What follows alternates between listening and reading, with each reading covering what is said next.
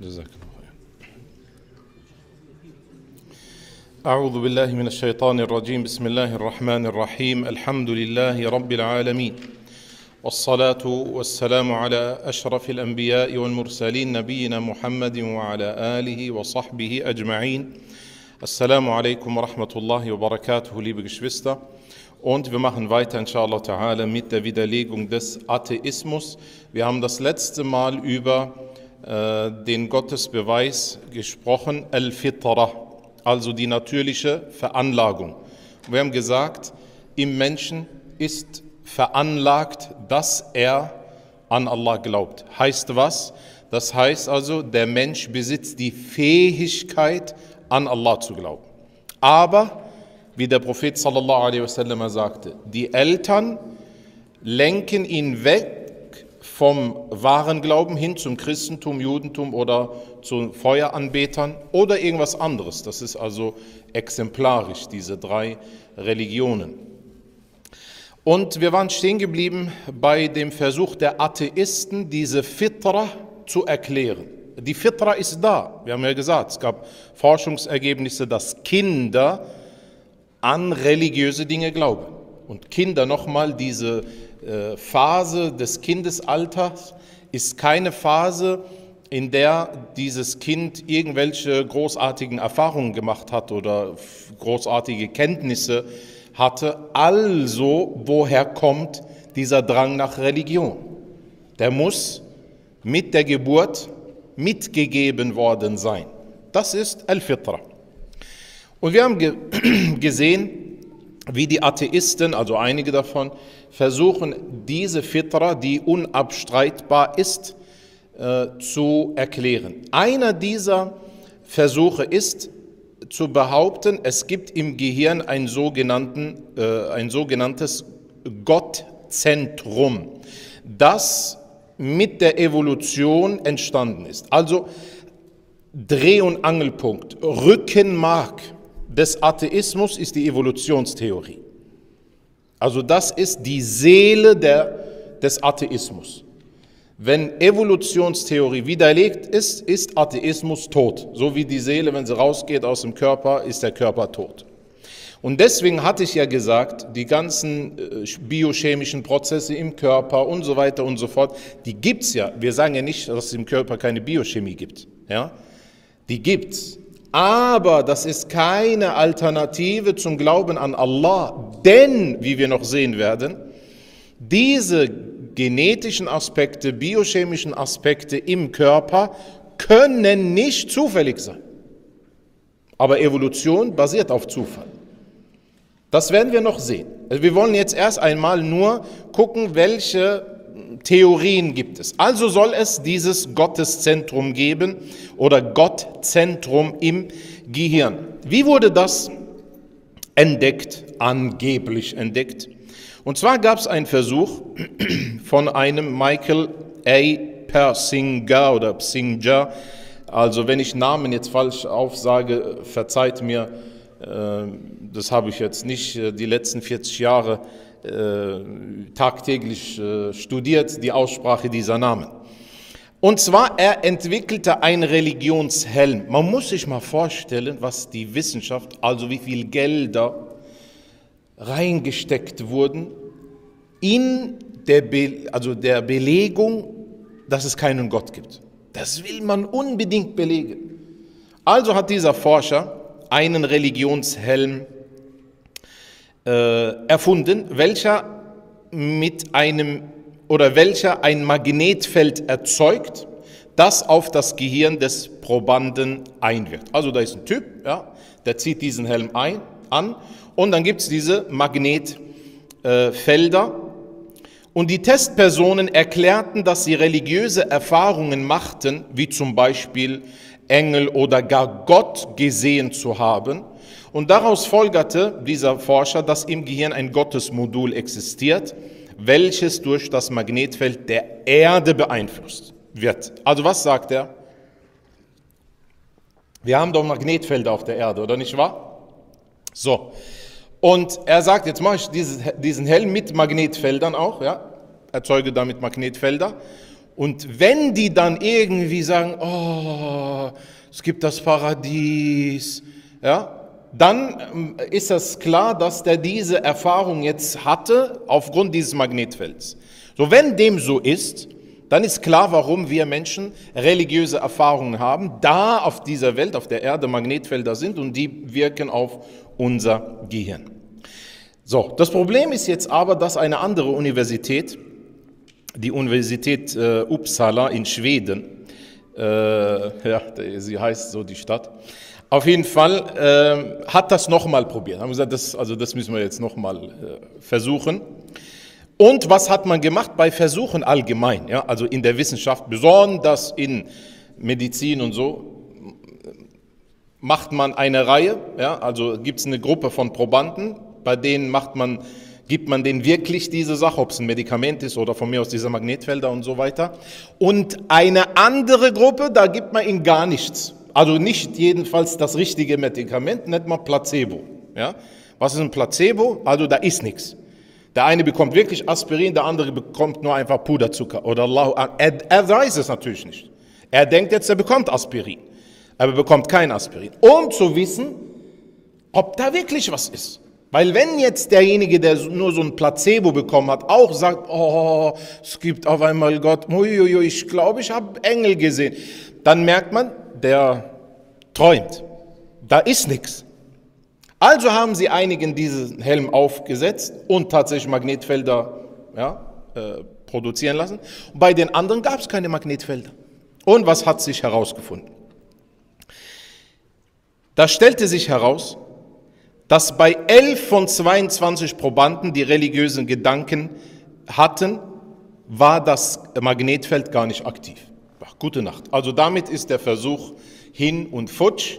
Die Hälfte, die Hälfte hatte diese Gedanken. Warum? Einfach so, weil sie dachten, es wäre da was.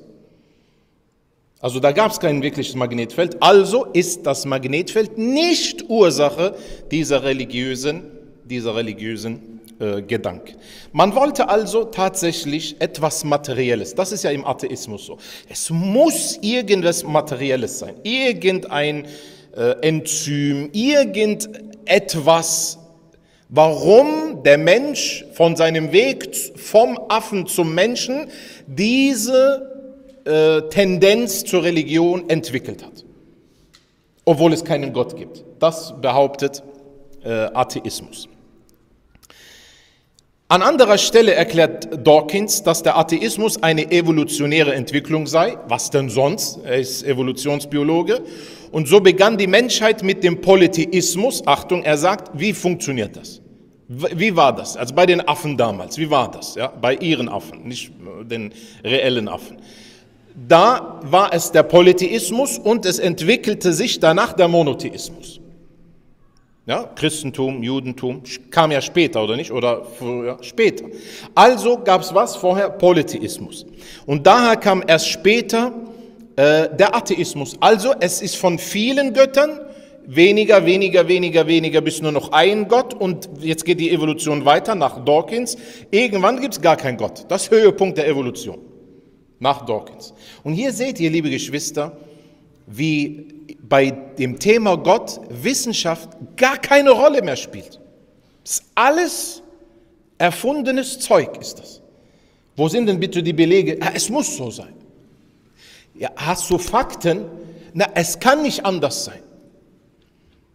Und das ist das, das Paradoxe am Atheismus. Man will für jede Sache Wissenschaft, die Physik, die Chemie und so weiter. Wenn es um Gott geht, alles mal ausschalten. Es muss so gewesen sein, kann nicht anders. Ist das Wissenschaft? Es muss so, kann nicht, äh, wird wohl, wahrscheinlich. Ist das Wissenschaft? Oder ist das nur ein Ratespiel? Das widerspricht aber den Fakten. Welchen Fakten? Den historischen Fakten. Was widerspricht den historischen Fakten? Dass es begonnen hat mit dem Polytheismus. Wir wissen, der erste Mensch war Polytheist oder Monotheist. Wer war denn der erste Mensch, ja? Adam a.s. War das ein Mushrik oder Muwahid? Muwahid a.s. Der erste Mensch hat an einen einzigen Gott geglaubt. Und zwar in der Religionsgeschichte gibt es Studien, zum Beispiel, dass der Ursprung des Hinduismus auf einem Ein-Gott-Glauben beruht. Also die Forscher in der Religionsgeschichte. Sind keine muslimischen Forscher jetzt, ja? Also es geht nicht um muslimische Forscher, sondern allgemein in der Geschichte, in, insbesondere Religionsgeschichte, wie entstanden Religionen, wo haben sie sich verbreitet und so weiter, gibt es Untersuchungen, Forschungen und die belegen, dass Ursprung des Hinduismus, Hinduismus ist Schirk, oder nicht? Die glauben an viele Götter. Der Ursprung aber beruht auf dem Ein-Gott-Glauben. Und zwar haben sie Texte, die nennen sich Veda. Das sind Sammlungen, äh, also religiöse äh, Texte, Sammlungen von religiösen Texten des Hinduismus. Und in diesen Texten, diesen Sammlungen ähm, wird oder erwähnt man, dass es einen Gott gibt. Das wurde dann verändert, ja, so wie in der Bibel. In der Bibel gab es den Tawhid, es wurde dann verändert. Können wir das vereinen mit dem Koran? Ja. Allah Azza wa Jal sagt, und in jedem Volk war ein Prophet. Und in jedem Volk war ein Prophet. Das heißt, wir wissen, Allah subhanahu wa ta'ala schickte überall Propheten hin. Nur er hat sie uns nicht alle genannt. Von den wie viele Propheten waren es nochmal? Ja? 124.000 ungefähr. Der Hadith ist nicht ganz authentisch, aber das ist so Pi mal, Pi mal Daumen. Von den 124.000 Propheten wurden nur 25 oder eben 26, je nachdem, ob Al-Khadir als Prophet dazugezählt wird oder nicht, im Koran erwähnt. Und Allah Azza wa Jalla sagt im Koran, und viele haben wir äh, viele Gesandte haben wir geschickt, von denen wir dir nicht alle äh, genannt haben. Einige haben wir dir genannt, einige haben wir dir nicht genannt. Das heißt, der Islam erklärt, dass Tawhid überall gekommen ist. Und das beweist auch diese Religionsgeschichte beziehungsweise die äh, die Untersuchungen der Religionsgeschichte. Ebenso erklärten mehrere Forscher, dass die Religionsgeschichte darauf hinweist, dass der Ursprung der Religionen der Ein-Gott-Glaube war. Ja, also wer da nachlesen will, The Origin uh, and Early History of Religion ja, von ja, JMC. Das, die lieben ja diese Abkürzung, die. Al-Muhim. Auf jeden Fall das heißt, es gibt Studien, die belegen, dass eben zuerst der Eingottglaube existiert und der Polytheismus später entstanden ist mit der Zeit. Und das zeigt also, dass die Atheisten einfach so drauf los philosophieren. Nur weil er Professor an der Uni ist, nur weil er Doktor in Chemie ist, nur weil er, was weiß ich, den Nobelpreis bekommen hat, denkt er oder erlaubt sich dieser Professor oder Doktor einfach Theorien aufzustellen. Wo ist denn die Basis? Wo sind denn die Argumente? Die Belege sind nicht da. Aber wenn es ein Evolutionsbiologe sagt, dann muss es ja sein. Dann kann es ja richtig sein. Und wir dürfen nicht vergessen, liebe Geschwister, im Westen sind diese Wissenschaftler so, haben diese Wissenschaftler die Stellung wie bei uns Propheten. Wenn der Wissenschaftler was sagt, das war's. Wenige äh, versuchen dann nochmal zu hinterschauen und so weiter. Viele Atheisten, sage ich ja, natürlich die Christen, die sind nicht damit äh, äh, einverstanden, aber die Atheisten, die glauben den Wissenschaftlern. Und wenn du jetzt sagst etwas anderes, dann glaubt er dir erst, wenn du sagst, guck mal, die Universität XY hat diese Forschungsergebnisse. Ach so, guten Morgen. Diese Forschungsergebnisse haben wir schon lange im Koran. Kommen wir nun zu den rationalen Beweisen bezüglich der Existenz Allah subhanahu wa ta'ala. Wir haben also die, äh, den Gottesbeweis beruhend auf der Fitra besprochen. Al-Fitra, also die natürliche Veranlagung. Kommen wir nun zu den rationalen Beweisen. Heißt was? Also die logischen Argumente für die Existenz Gottes. Ibn Taymiyyah rahimahullah sagt, auch wenn die Erkenntnis bei jenen, die eine unversehrte, natürliche Veranlagung besitzen, keiner Beweisführung bedarf, also jeder Mensch, der eine gesunde, natürliche Veranlagung hat, braucht keinen Beweis dafür, dass Gott existiert. Es ist klar. Aber trotzdem gibt es viele Menschen, sagt Ibn Taymiyyah, die eine Beweisführung benötigen. So mag man diese in einigen Situationen benötigen und in anderen nicht. Also einige brauchen diese Beweisführung jetzt nicht, diese rational. Die wissen, es muss Allah geben. Andere, insbesondere in Zeiten, in der der Atheismus verbreitet wird, müssen wir auch zurückgreifen auf diese rationalen Argumente. Der rationale Gottesbeweis beruht darauf, dass es zwei Formen von Existenzen gibt. Es gibt Existenzen oder man nennt sie, glaube ich, auch Entität oder nicht? Also seiende Dinge, die, die äh, seiend sind, also die existieren, die mit den Sinnen erfassbar sind. Du kannst die Sonne sehen, du kannst den Vogel hören, du kannst äh, das Essen schmecken, du kannst die Blume riechen. Existenzen, Entitäten, die aufgrund von Sinnen erfassbar sind. Und es gibt Existenzen, die mit den Sinnen nicht erfassbar sind. Und letzteres unterteilt sich in erfassbarem, zum Beispiel durch den Verstand, und nicht erfassbarem. Also einige Sachen sind erfassbar durch den Verstand und andere aus der verborgenen Welt also sind nicht erfassbar mit dem Verstand. Kannst du mit dem Verstand erfassen, wie viele Tore das Paradies hat? Nein.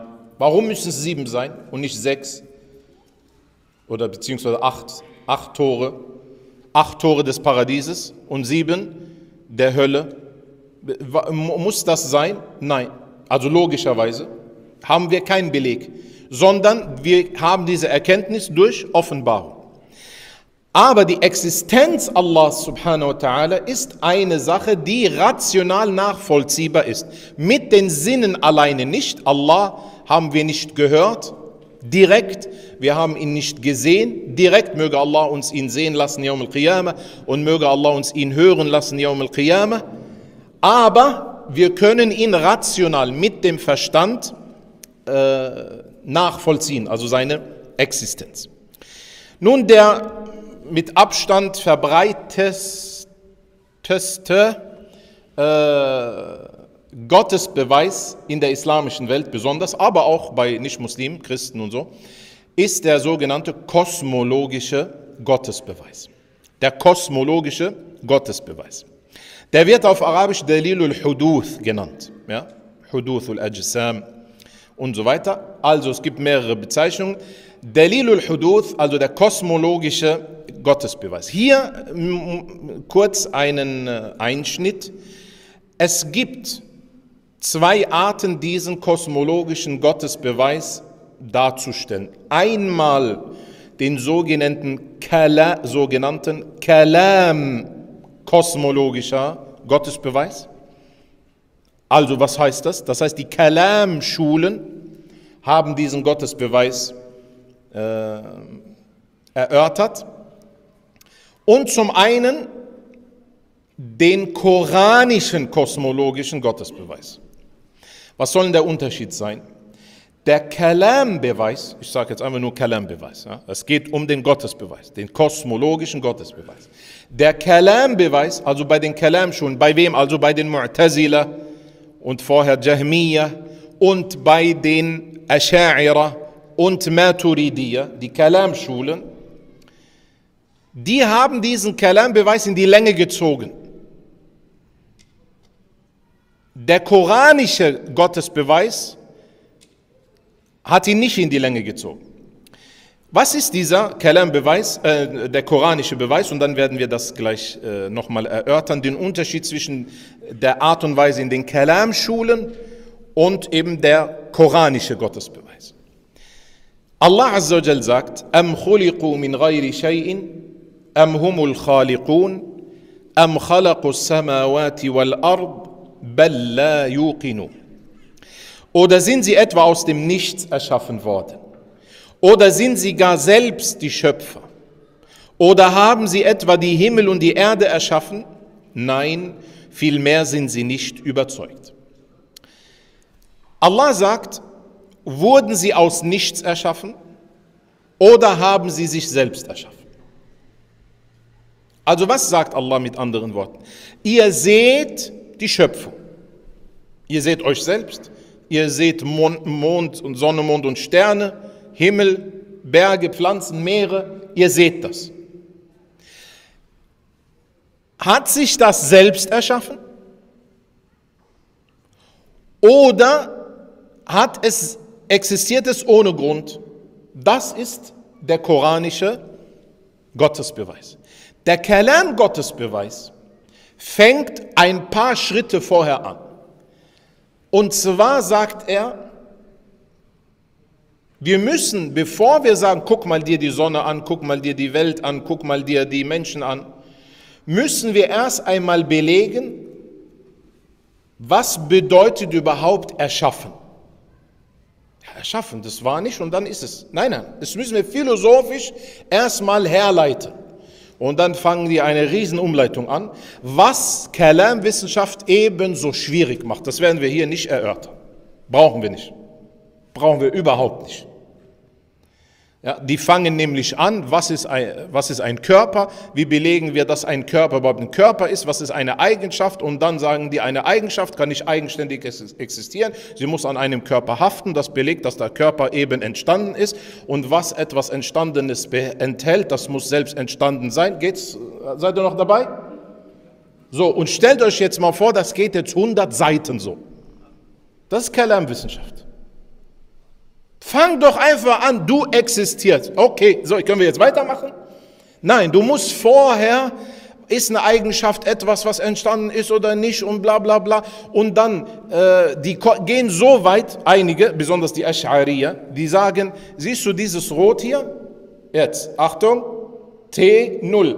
Siehst du das? Okay, jetzt nochmal, Achtung, jetzt haben wir T1, das ist nicht dasselbe Rot wie bei T0. Ach, hör auf, komm, jetzt, jetzt ist aber genug jetzt. Ja? Warum so kompliziert? Warum? Damit sie am Ende die Eigenschaften Allahs leugnen. Also die ganze Geschichte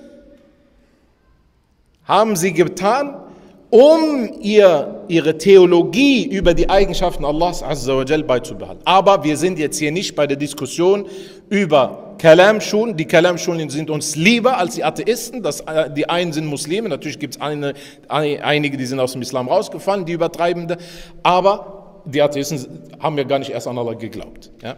Also wir reden hier jetzt über den Atheismus, nicht über die Kalam-Schulen. Aber nur, damit wir wissen, wir werden hier nicht den Kalam-Gottesbeweis uns äh, anschauen.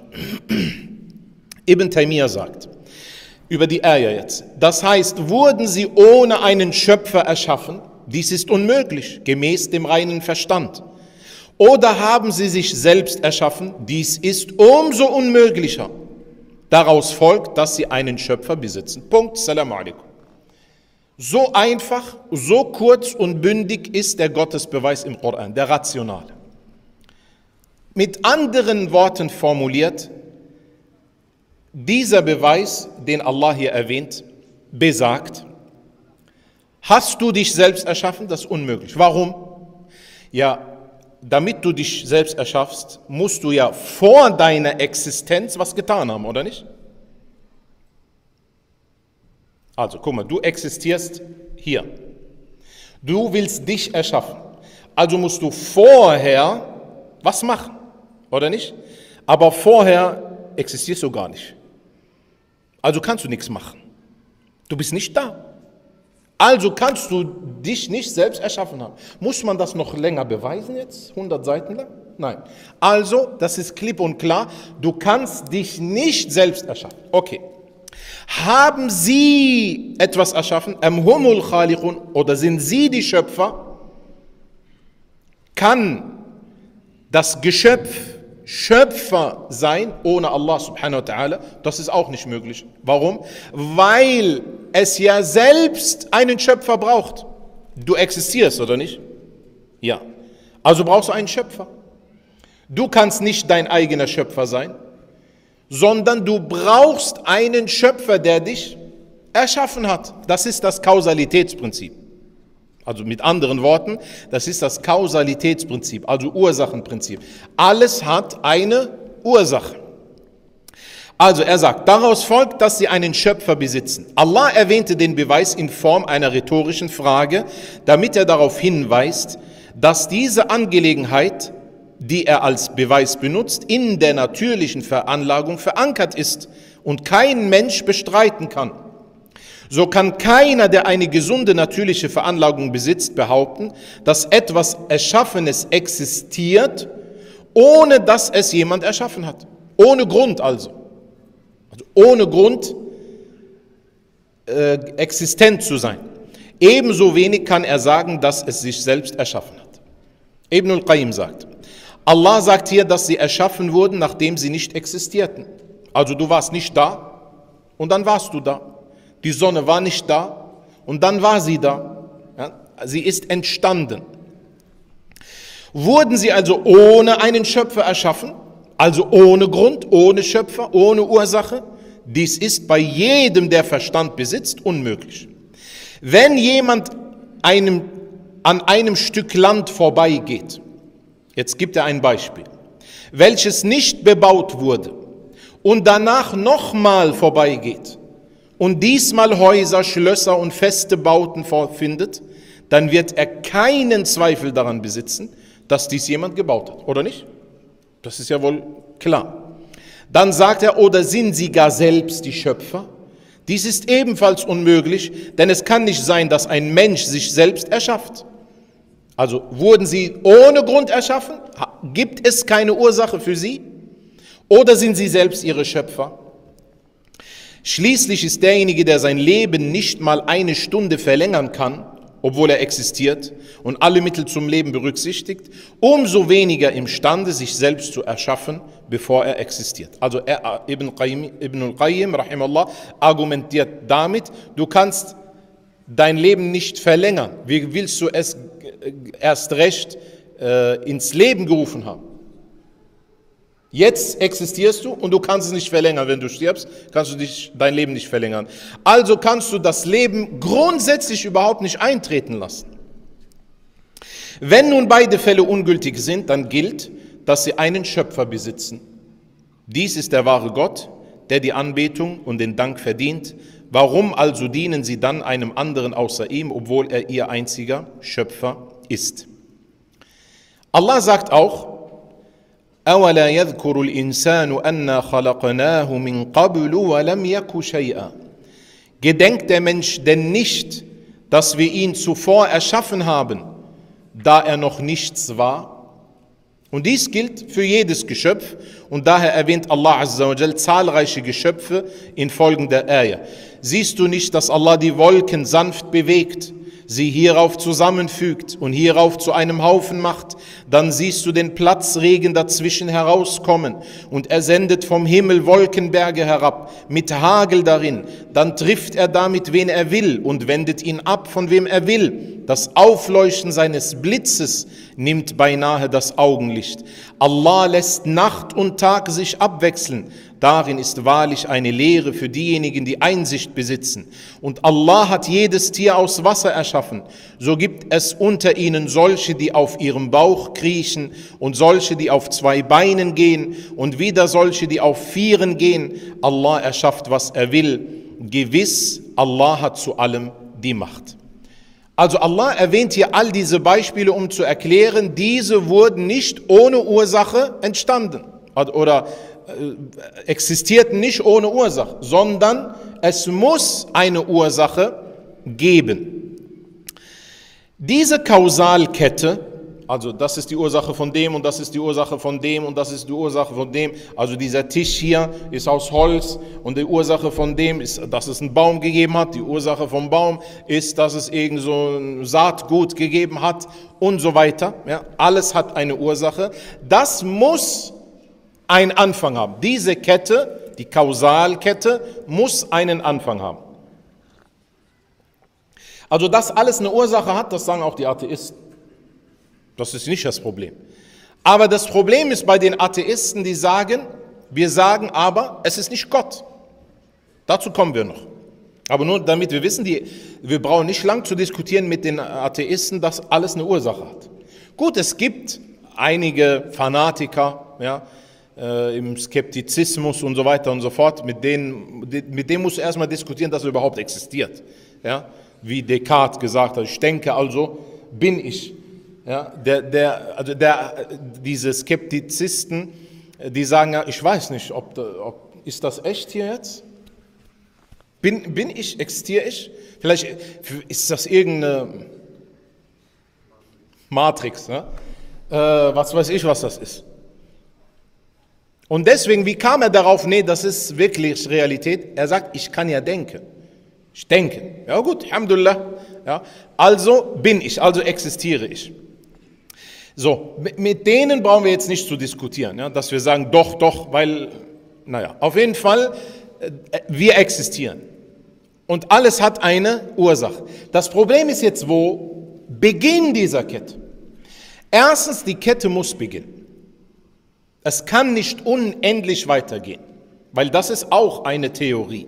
Auch bei den Philosophen in der islamischen Welt, ja, äh, die natürlich mit dem Islam nichts zu tun hatten. Ja? Aber das, ich, wir meinen damit also nicht die antike Philosophie, obwohl bei denen gab es das auch, weil die muslimischen Philosophen, heißt nicht, dass sie Muslime waren, sondern Philosophen in der islamischen Welt, die haben ja ihre Philosophie abgeleitet von der antiken Philosophie, Aristoteles, Plato und so weiter. Die sagen, die, diese, diese Welt ist ewig, urewig, gab es schon immer. Das werden wir auch noch, inshallah, äh, uns betrachten. Es muss also einen Anfang gegeben haben. Da sagt man, gibt es ein äh, Beispiel, ja, und zwar von dem Soldaten. Äh, also bis jetzt habe ich sehr viele äh, andere Formen äh, ge gehört. Ähm, vom Geld ausleihen vom Nachbar äh, oder von der Kasse bis äh, warten auf der Bushaltestelle und so weiter und so fort. Worum geht's? Ein Soldat soll schießen. Der wartet aber auf den Befehl seines Chefs. Der wird den Befehl aber erst sagen, wenn er den Befehl gibt von seinem Chef. Und der wiederum wartet auf seinen Chef. Der wiederum wartet auf seinen Chef. Der wiederum wartet auf seinen Chef. Wenn das jetzt ins Unendliche geht, also minus unendlich in der Vergangenheit, wann schießt der Soldat? Gar nicht. Warum? Der Befehl wird nie kommen. Warum? Es wird immer einen vorher geben, vorher geben, vorher geben, vorher geben, vorher geben. Es ist unendlich, es hört nicht auf. Also wird der Schuss nie kommen. Oder anderes Beispiel. Du wartest auf, an der Bushaltestelle. Jetzt wartest du auf den Bus. Der Bus wird aber nur dann bei dir ankommen, wenn er bei der vorherigen Haltestelle angekommen ist. Da wird er aber nur ankommen, wenn er bei der vorherigen Haltestelle angekommen ist. Da wird er aber nur ankommen, wenn er bei der vorherigen Haltestelle angekommen ist. So, und das ziehst du jetzt ins Unendliche, also ohne Anfang, minus unendlich, ja, in das, in die Urewigkeit. Wann kommt der Bus? Du wirst noch sterben und der Bus kommt nicht. Weil der wird nie kommen.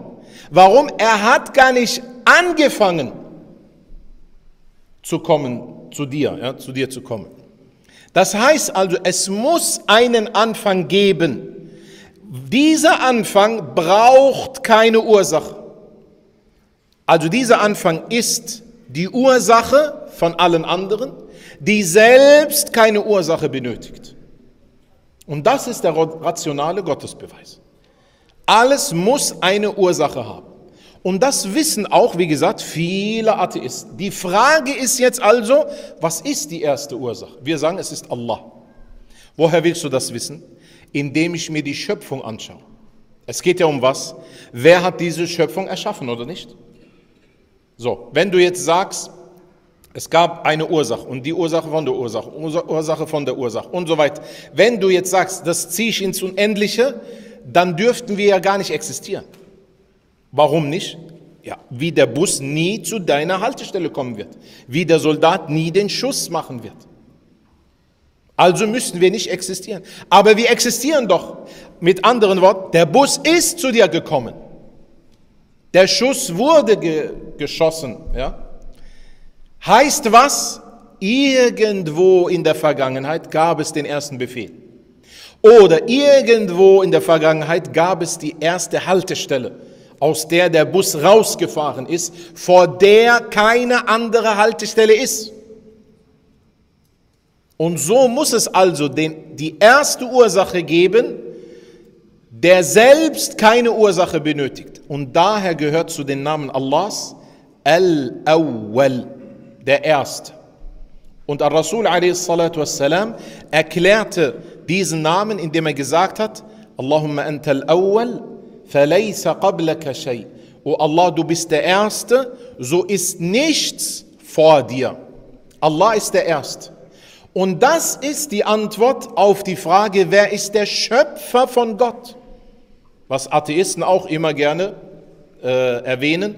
Wer ist der Schöpfer von Gott? Die Antwort lautet, es gibt keinen Schöpfer von Gott. Ja, warum? Weil er die erste Ursache ist. Das ist kein Name Allahs, ja? sondern es ist nur eine Beschreibung. Er ist die erste Ursache, vor der es keine andere Ursache gibt. Denn wenn du sagst, wer ist der Schöpfer von Gott, dann wäre es, Astaghfirullah, einer, okay, und dann, wer ist dessen Schöpfer? Ein anderer, wer ist dessen Schöpfer? Einer. Und dann haben wir was? Die unendliche oder unanfängliche Kausalkette. Ursachenkette. Und das würde was bedeuten noch einmal? Dass wir gar nicht existieren können. Ist das klar? Das bedeutet also, der rationale Gottesbeweis besagt, alles hat eine Ursache. Selbst kann eine Sache sich nicht erschaffen und ohne Grund kann es auch nicht existieren. Also muss es einen Verursacher geben.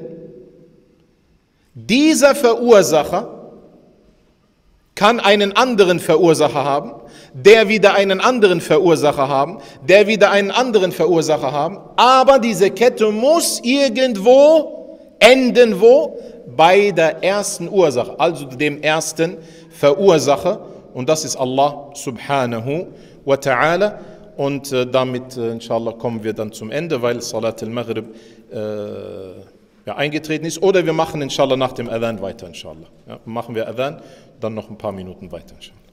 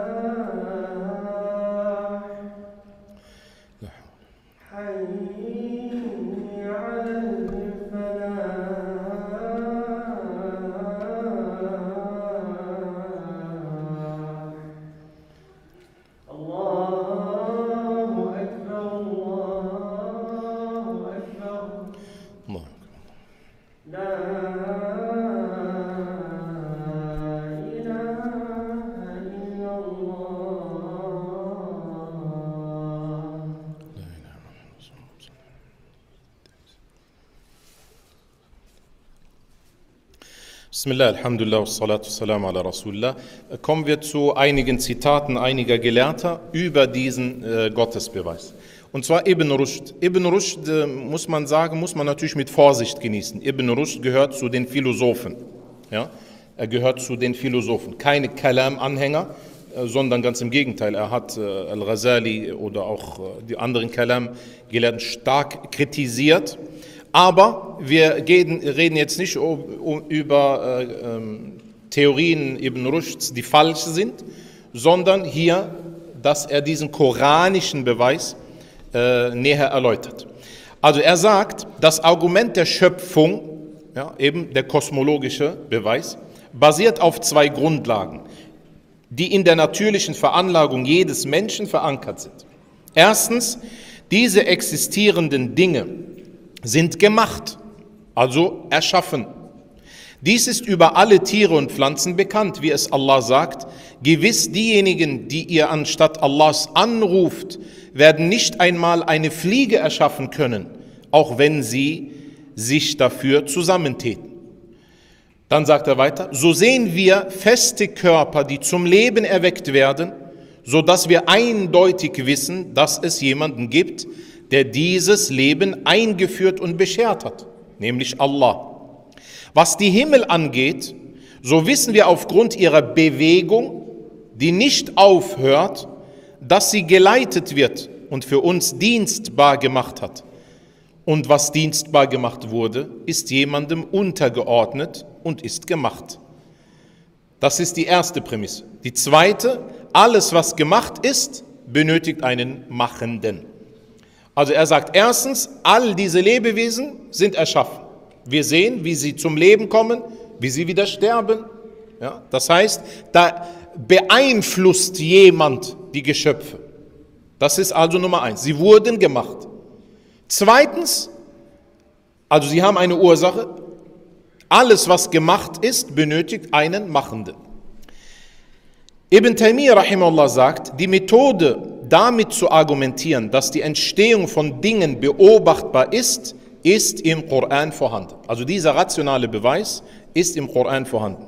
Die Salaf und Imame sind sich darin einig, da dies der Notwendigkeit und dem mit den Sinnen Vernehmbaren entspricht. Also was? Das wissen wir notwendigerweise, das weiß jeder Mensch, dass alles eine Ursache hat.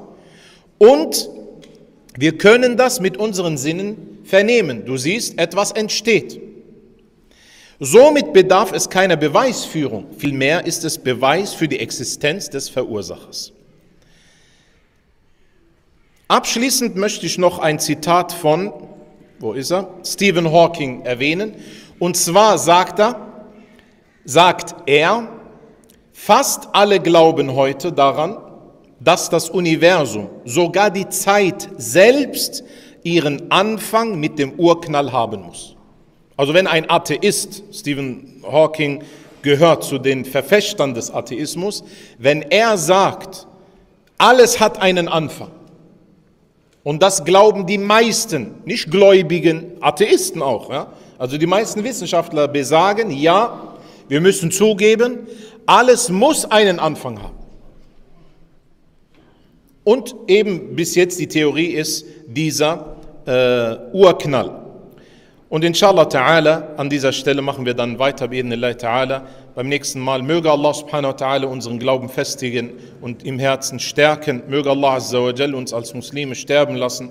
Möge Allah subhanahu wa ta'ala uns aufnehmen mit dem edlen Propheten sallallahu alaihi wasallam in den höchsten Stufen des Paradieses. Wa sallillahumma wa sallim wa barik ala nabiyyina Muhammad wa ala alihi wa sahbihi ajma'in. Wassalamu alaikum wa rahmatullahi wa barakatuh.